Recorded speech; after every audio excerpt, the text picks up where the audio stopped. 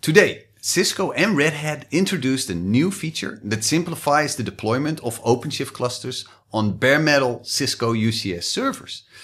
We're doing this by bringing the power of Cisco Intersight directly to the OpenShift administrator. Now, as you know, Cisco Intersight is our SaaS management platform for managing your servers. And Red Hat Hybrid Cloud Console is a SaaS management platform for deploying OpenShift clusters on those servers. Now, by integrating both SaaS platforms, we're able to fully automate the deployment of bare metal OpenShift clusters.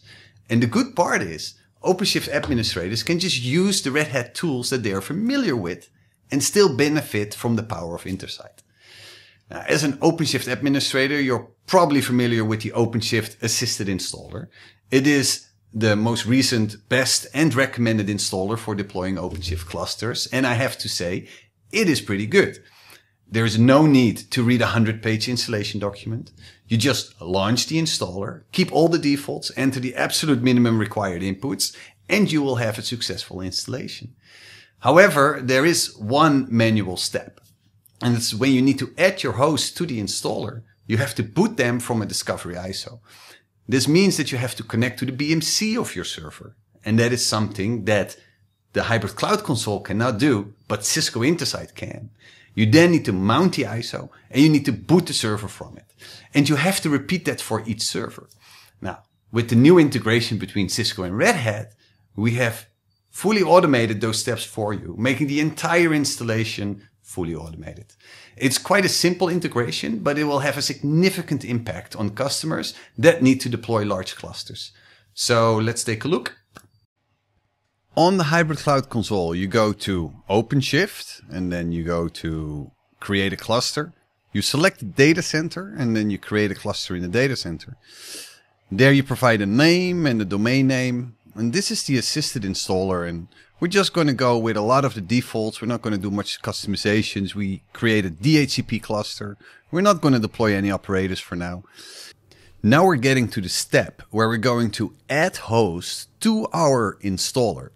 And you can configure an SSH key or the proxy settings for the discovery ISO. And then after you click on generate ISO, you can see all the steps which are required for adding that host to your installer.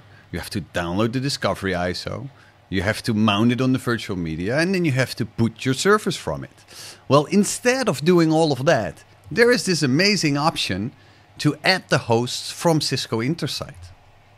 When you click on it, it will cross launch into Cisco Intersight. Now, I'm already logged in, and it's going to bring me directly to a workflow execution page. You can see that the URL to boot the service from is already filled in.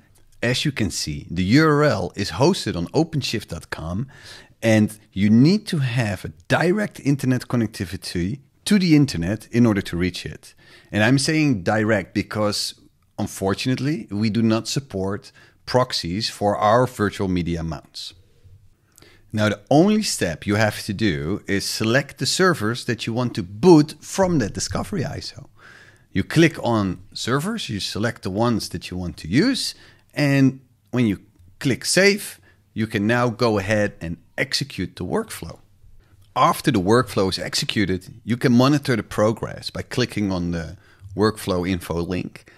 And there you can see all the tasks that the workflow is going to, and it will create a sub workflow for each server that it's executing on. You can see on the left hand side that I have three targets. And when I click on one of these targets, you can connect to the KVM of the server to monitor the progress of the workflow.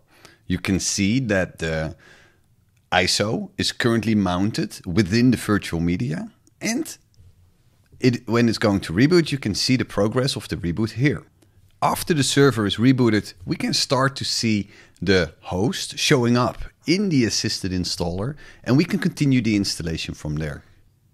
Within the assisted installer, you can view some properties of the servers and on the next step, you can configure the storage, you can configure the networking, and finally, after you have provided all the required inputs, you can kick off the installation and the installation will finish till the end. I hope that you enjoyed this video. And if you would like more information, you can find a tutorial on this installation process documented on intersight.com slash help.